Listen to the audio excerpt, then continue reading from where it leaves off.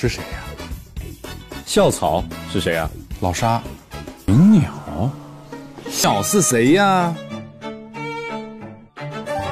哎呀，哎呦，哎呀，周深老师，百灵鸟是你啊！这名副其实，百灵。黄河篇是且看且珍惜了，这个衍生模式还有没有下一季都难说。第一季在上周已经完结了，即使录制期数短，新阵容也努力在做节目效果了。在兰州篇之后，来到江浙一带录制收官期，不管是科普还是节目，都画上了个圆满的句号。收官期笑点哭点都有，新组合温馨美好。宋雨琦回归了收官期的录制，栏目组也请到了四位新老朋友参与到节目中来，有自带搞笑的秦霄贤、魏大勋，也有意外效果的王庆耀、周深。上来首个介绍环节，秦霄贤光是选座位这一块就好笑的很，既想坐后边不被提问，又想坐前边保险。到了游戏环节，传送带识别题算是老锅新汤了，考验的就是感觉能力。在首题零零后网购中，白鹿与宋雨琦站在传送带前就一度很蒙圈，看的现场嘉宾觉得很有意思。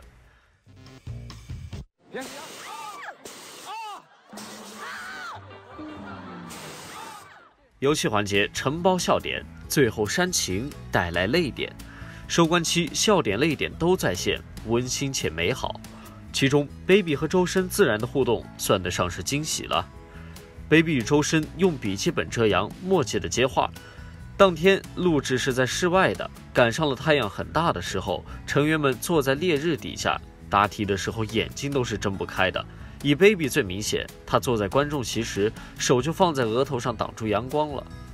在游戏的时候，也是尽量背过身去。与他同样的还有周深，在游戏时把自己抱成一团的是他，下场需要遮阳的也是他，两个同样是怕晒的人，在场下就自然坐在了一起，用同一个笔记本遮阳。期间点评战局，接话默契，不被吐槽反讨喜。周深不愧是综艺宠儿，baby 与周深的距离，要是换作是其他人，绯闻就要开始传了。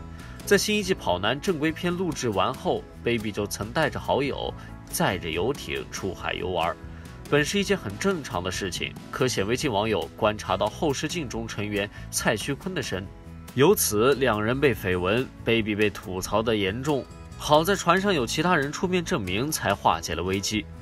周深在奔跑吧出现这个场景了，还被评讨喜，恰恰好证明他为何受栏目组的喜欢。所有念头全要看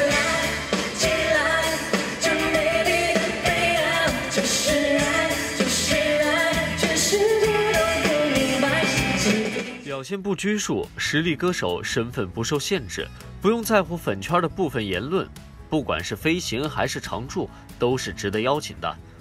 当然现在周深的节目邀约已经是排满的状态了期待他之后的表现。啊浅浅的亲吻深深的离别你看